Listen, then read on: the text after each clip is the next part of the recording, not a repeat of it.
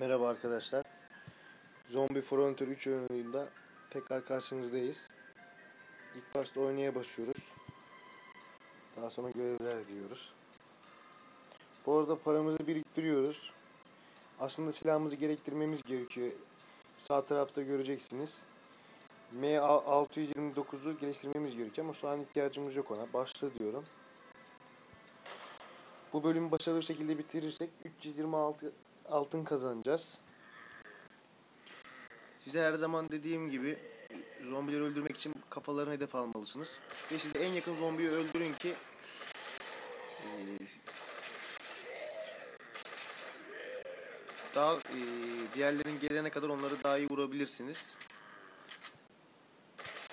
Şişman olan zombileri eee, kafalarını her zaman hedef almaya çalışın. Çünkü onların bedenini hedef aldığınız zaman ölmeleri daha zor. Başarılı bir şekilde bu bölümü de geçtik. Bir dahaki bölümde karşılaşmak üzere arkadaşlar.